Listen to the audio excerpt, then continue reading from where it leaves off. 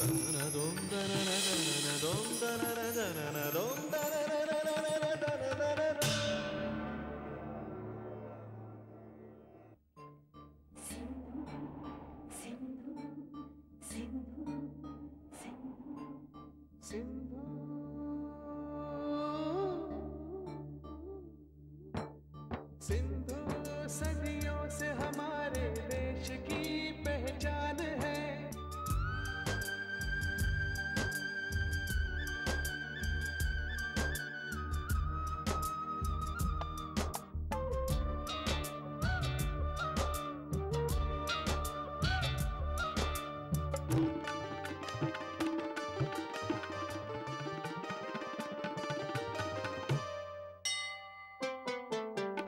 देश के दुख सुख से इसका आज का रिश्ता नहीं। इसका पानी साफ़ है, शफाफ है, खारा नहीं। आपने हैरत है अब तक इस तरफ़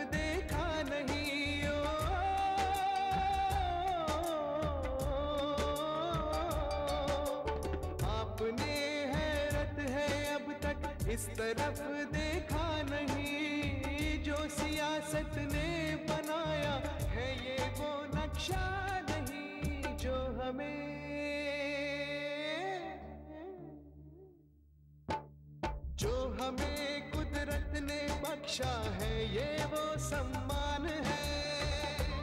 हिंदुस्तान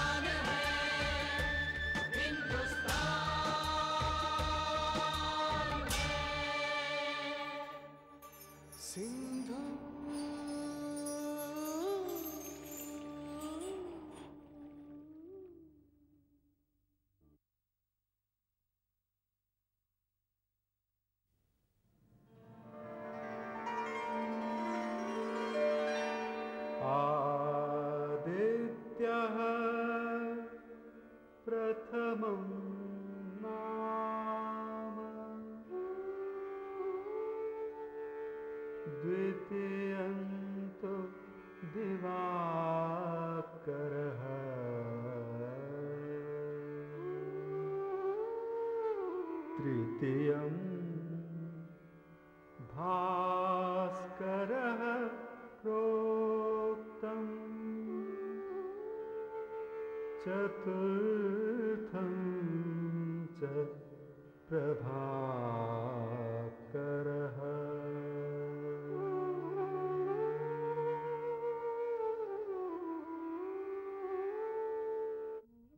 जिस पीढ़ी को अपने इतिहास पर अभिमान अपने सत्कर्मों पर गर्व और अपने दुष्कर्मों पर पश्चाताप नहीं होता ना? वो बहुत पीछे रह जाती है। जब लोग किसी प्राचीन इमारत को देखने आते हैं तो उसे देखकर ये तो नहीं कहते ना कि आज हमारे देश में इससे भी भव्य इमारतें हैं?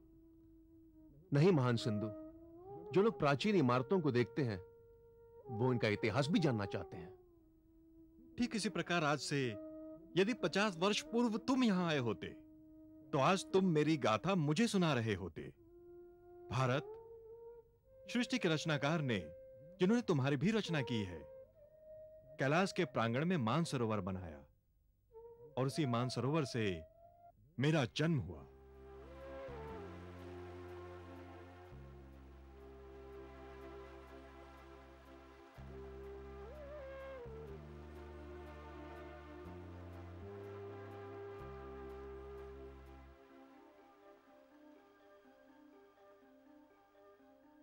मानसरोवर से हमारे यहाँ चार महत्वपूर्ण नदियाँ निकलती हैं, जिनका उल्लेख पौराणिक साहित्य के अतिरिक्त तो बौद्ध साहित्य में और बड़ा पवित्र उसको सरोवर अनवतप्त हृद कहा गया है।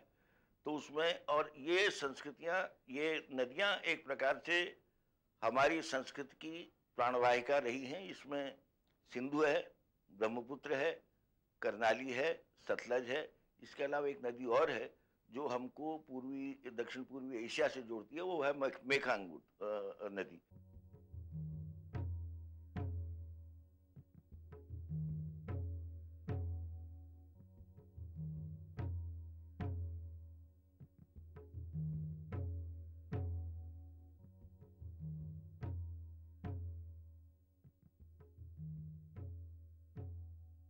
सुंदर, आपका बाल स्वरूप कितना भव्य है। विशाल है। दर्शन की योग्य है। मैंने जब अपनी माँ की गोद छोड़ी तो पीछे मुड़कर नहीं देखा। वैसे भी, मैं अपनी माँ की गोद से ही आशीष लेकर निकला था। पीछे मुड़कर न देखना ही जलधारा की नियति होती है। मैंने अपने तट पर मानव सभ्यता को जन्म लेते देखा। ज्ञान वेद रूप में प्रकट हो रहा था। मैं धन्य हो गया। मैंने गौतम, भारद्वाज, विश्वामित्र, वशिष्ठ, अनेकों आचार्यों को ओंकार के विभिन्न रूपों की व्याख्या करते देखा। ईसा पूर्व पाँच हज़ार वर्ष पुरानी घटना है। पाँच हज़ार वर्ष पहले सिंधु तट के मानव ने जीवन कला एवं नागरिक शास्त्र को जानना प्रारंभ कर दिया था। कदाचित यही वो समय था जब मानव ने जंगलों से निकलकर गाँव का निर्माण किया था। भवन निर्माण की कला ने एक सुंदर रूप लेना शुरू कर दिया था। हाँ भारत। ईसा पूर्व पच्चीसवीं शताब्दी तक तो सिंधु तट की मानव सभ्यता पूरी तरह विकसित हो चुकी थी। इस सभ्यता का नामकरण हुआ सिंधु घाटी सभ्यता। सिंधु घाटी सभ्यता, जिसे हड़प्पा सभ्यता भी कहा जाता है, दुनिया की सबसे प्राचीन और उन्नत सभ्यताओं में से एक है। बरसों से न सिर्फ़ पूरी दुनिया के लोग, बल्कि हम भारतीय भी। मेसोपोटामिया और प्राचीन मिस्र की सभ्यता को महान और दुनिया की पहली मानव सभ्यता मानते रहे हैं। लेकिन अब विश्व भर के पुरातत्वविद यह मानने लगे हैं कि सिंधु घाटी सभ्यता के साथ ही मानव सभ्यता की उत्पत्ति हुई और भारतीय प्रायद्वीप की ये आदि सभ्यता विस्तार में तो सबसे विशाल थी ही साथ ही विश्व की अन्य सभ्यताओं में सबसे विशिष्ट क्योंकि यह विशिष्ट जन नहीं बल्कि आम आदमी की सभ्यता थी। ये वो सभ्यता थी जो दुनिया की और कोई भी कंटेम्प्रेरी सभ्यता नहीं दिखाई न इजिप्ट की मेसोपोटामिया की वो ये थी कि छोटे से छोटे व्यक्ति भी इसके लिए इम्पोर्टेंट था। इसलिए ये नगरीय सभ्यता में हर आ, हर कॉमन आदमी के भी मकान होते थे। उनकी भी सड़कें होती थी उनकी भी नगर होते थे। जबकि ईरान में और इराक में और आज के इजिप्ट में यहाँ जो सभ्यताएँ उसी समय उत्पन्न हुई वे केवल राजा के लिए होती थी या उनके लिए होती थी जो पुजारी होते थे। कॉमन मैन केवल मात्र एक झोपड़ों में रहता था दूर दूर रहता था।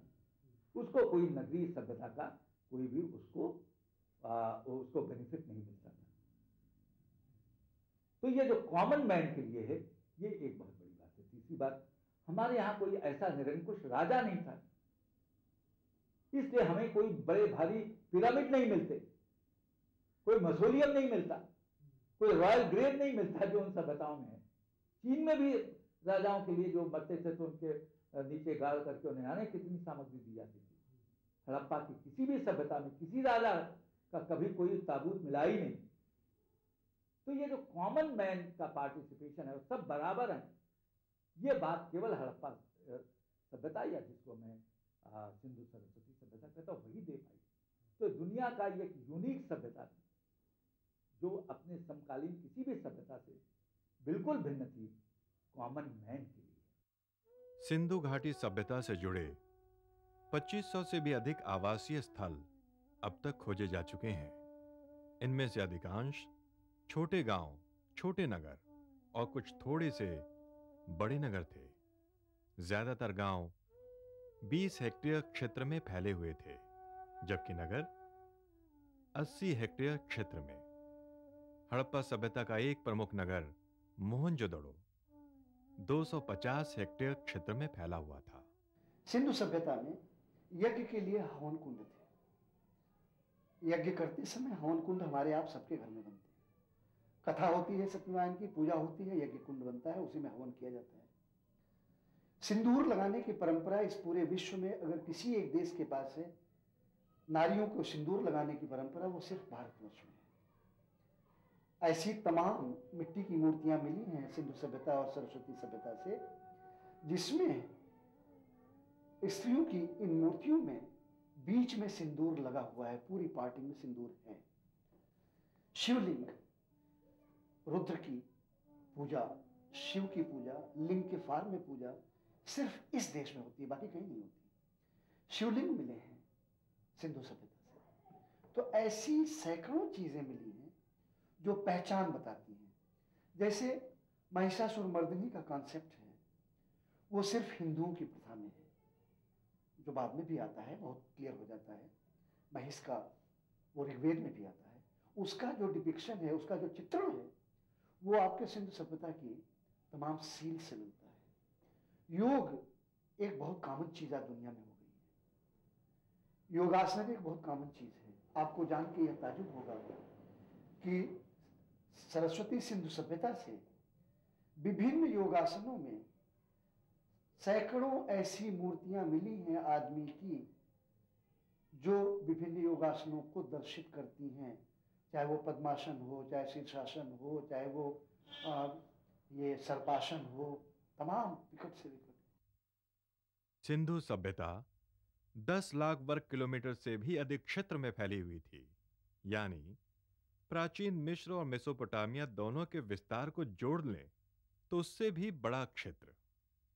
इसकी दक्षिणी सीमा ताप्ती और गोदावरी नदियों के मध्य थी और उत्तरी सीमा 1400 किलोमीटर दूर कश्मीर में थी।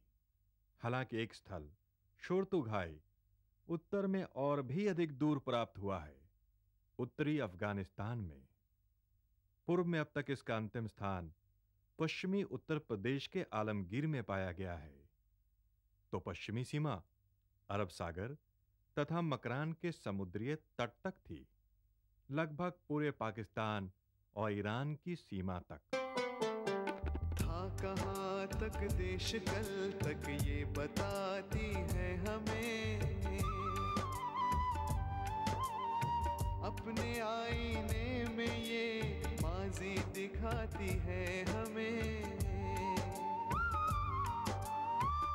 इस सभ्यता को सिंधु घाटी सभ्यता इसलिए कहा गया क्योंकि सबसे पहले खोजे गए बड़े स्थल मोहनजोदड़ो और हड़प्पा सिंधु और उसकी सहायक रावी नदी के समीप पाए गए थे।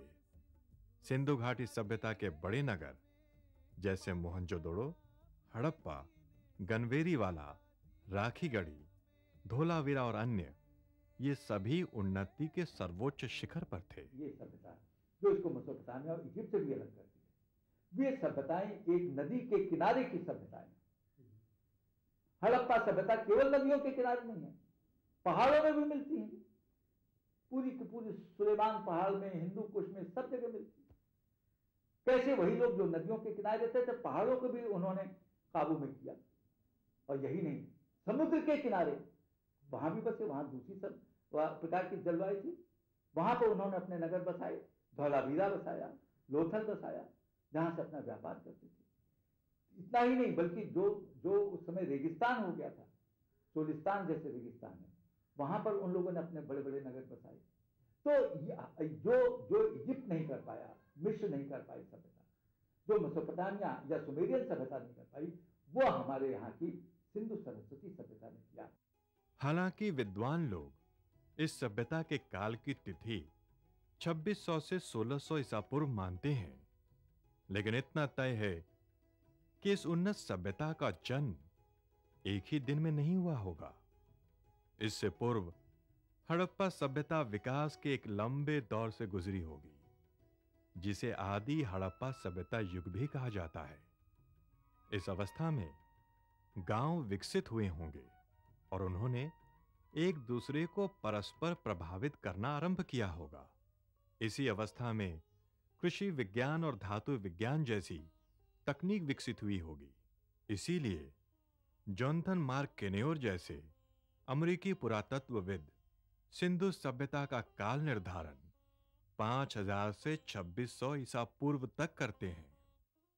हड़प्पा के नगरों की खोज करने वाले भी उन नगरों की उच्च कोटि की नगर योजना और उसकी जटिलता देखकर चकित रह गए। इतने ऊँचे स्तर की नगर योजना 2000 वर्ष पश्चात यूरोप के नगरों में दिखाई देती है। इन नगरों में बड़े बड़े घर, सभा भवन और औद्योगिक इकाइयाँ थीं। कुछ बड़े नगरों में ताम्र के उपकरणों, अस्त्रों और आभूषणों के निर्माण के लिए भट्टियाँ थीं। किस प्रकार ये जो प्राक ताम्र, काश्य संस्कृतियाँ थी, किस प्रकार फैली नवासवीं की? और फिर कई और जो स्रोत उनके साथ जुड़े, टेक्नोलॉजी का विकास हुआ, तांबे को उन्होंने तांबा बनाना सीखा, कांसा बनाना सीखा और उसके साथ साथ जो है, उनका जो है व्यापार हुआ। तो उससे संस्कृतियों के क्षेत्र में चाहे मोन्जोदारो में बना हो, चाहे हड़प्पा में बना हो, चाहे चानुदारो में बना हो धोलापीरा में बना हो, कालीबंगा में बना हो, वो एक संस्कृति का विस्तार इसके साथ होता रहा। और वो आज जानते हैं कि उन्होंने उनकी सबसे प्रसिद्ध चीज़, उनकी टाउन प्लानिंग है, उनका नगर नियोजन है। तो नगर नियोजन की आवश्यकता पड़ी होगी। हर जगह तो नहीं हुआ। तो उसकी आवश्यकता पड़ी हुई है, या कई जगह उनके मकान कच्ची ईंटों के हैं। और गुजरात के क्षेत्र में उन्होंने पत्थरों का इस्तेमाल किया है। तो वो जिस जिस प्रकार की आवश्यकता पड़ी, और वो संस्कृति भी एक प्रकार से वो सार्वभौम संस्कृति एकीकृति संस्कृति नहीं थी। हमारे यहाँ एक भारतीय संस्कृति को जब समझना होता है तो भारतीय संस्कृति को आप कोई एकीकृत एक मोनोलिथिक वाटर टाइट कंपार्टमेंट की शक्ल में नहीं देख सकते हैं। हमारी जो संस्कृतियाँ हैं, वो देश जाति कुल धर्म से निर्धारित होती हैं। उनका स्थानीय जो भी स्वरूप होता है, उससे मिलकर के एक बड़ी संस्कृति की पूरक बनती है। तो सिंदगी घाटी की सभ्यता, शायद मोहनजोदारो की जो संस्कृति हो, या हड़प्पा की जो संस्कृति हो, ठीक वैसी ही संस्कृति नहीं थी। उनके मौलिक तत्व तो एक थे। तो जो आज भी आप देखते हैं जितना पंजाब में, उत्तर प्रदेश में, मध्य प्रदेश में, कर्नाटक में फ़र्क आता है।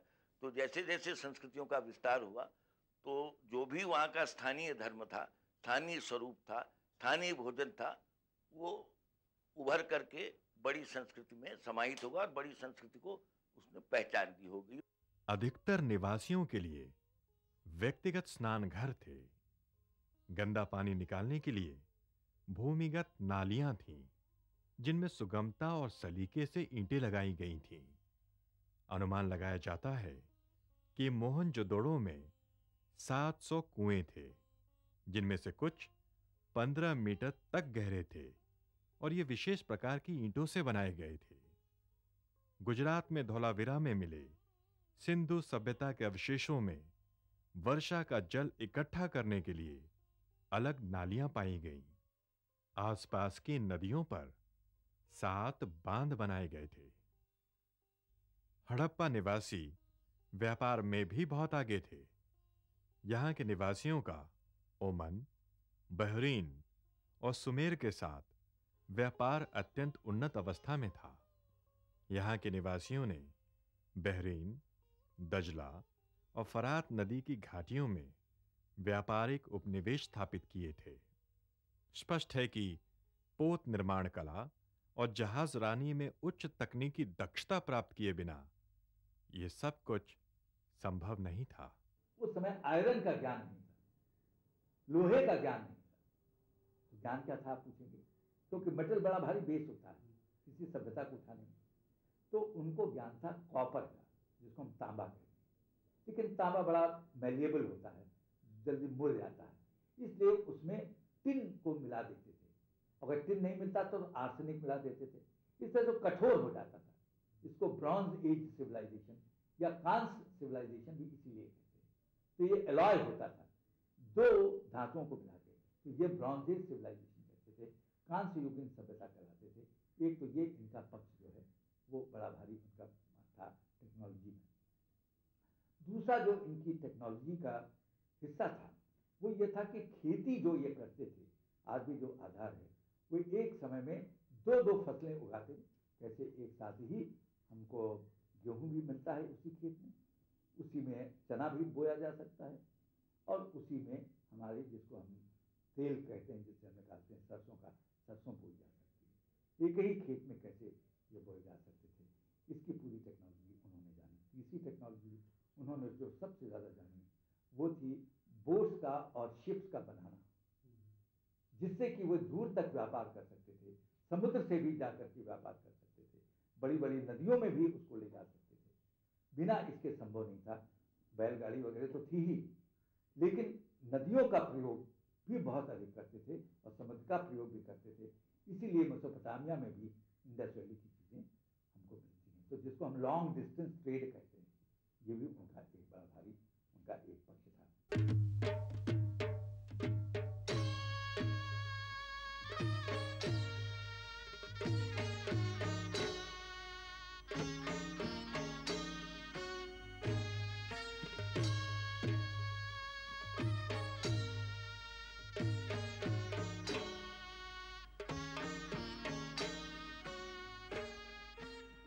सिंधु घाटी के लोग, नृत्य, चित्रकारी, शिल्पकारी और संगीत में तो दक्ष थे ही। कृषि में भी वो बहुत आगे थे। गेहूँ, जौ, चावल, कपास और कई प्रकार की सब्ज़ियाँ सामान्य फ़सलें थी जो ये लोग उगाते थे और खेती की सिंचाई के लिए नहरों का विस्तृत जाल था। भारत भारत! क्षमा चाहता हूँ, मान सिंधु। क्षमा चाहता हूँ। मैं अपने गौरवशाली अतीत में खो गया था। आपकी विविधता, मेरी विविधता से कहीं ज़्यादा विस्तृत है। बर्फ़ से ढके हिमालय में आपका जन्म, ऊँचे पठारों, मैदानों, वनों में आपकी यात्रा। किंतु आपका रूप वही दिव्य, वही भव्य। आप तो इस देश के साढ़े पाँच हज़ार वर्ष पुराने इतिहास के साक्षी हैं। ऋग्वेद में भी आपको सिंधु नाम देकर सम्मानित किया गया है। दिविस्वनो यतते भूम्यो, पर्यनन्तं शुष्ममुदीयत्ति भानुना अभ्रादिव प्रस्तनयन्ति वृष्टयः सिन्धुर्यदेति वृषभो नरोरुवत्।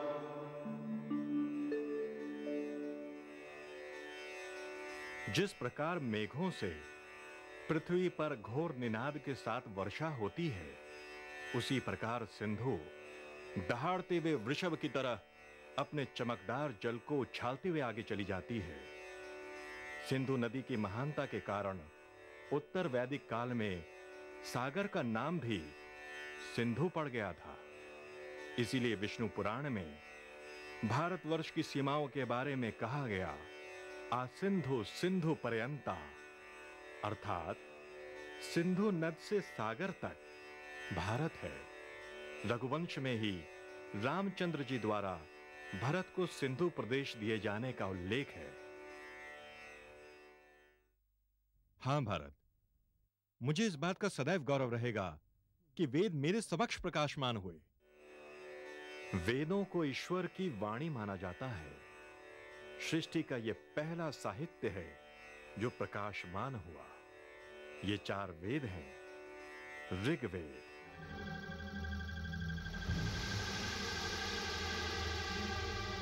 सामवेद।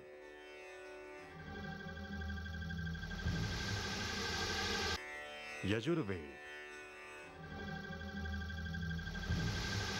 और अथर्ववेद। हिंदू शास्त्रों ने मुझे ब्रह्मा की संतान कहा है, और मैंने भी सदैव इस सम्मान की रक्षा करने का प्रयास किया है।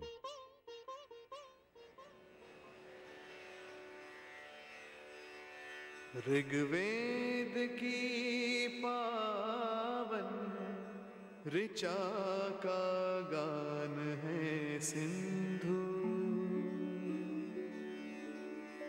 सदियों से हिंदुस्तान की पहचान है सिंधु। जन जन के हित, कण कण के हित, इसकी हर एक हलचल, अंतस में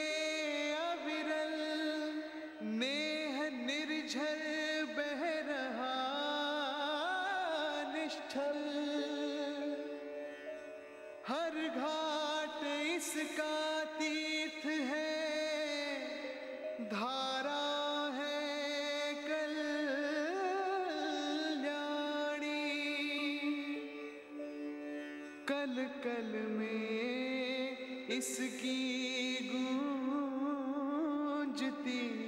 संतों की हितवाणी। देवों से धरती को मिला वरदान है सिंधु।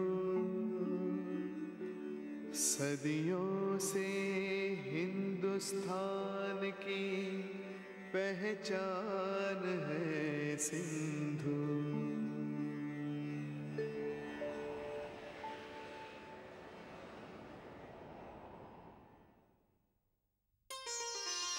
सभ्यता और संस्कृति की झलक आज भी मेरे तट पर विद्यमान है और सभी मुझसे और मैं सभी से समान रूप से स्नेह करता हूँ। झलका भी यही धर्म होता है और यही धर्म मेरे तट पर विद्यमान आर्य संस्कृति वालों का रहा है। सर्व पंथ संभाव देश के दुख सुख से इसका आज का रिश्ता नहीं। इसका पानी साफ़ है, शफाफ है, खारा नहीं। आपने हैरत है अब तक, इस तरफ़ देखा नहीं।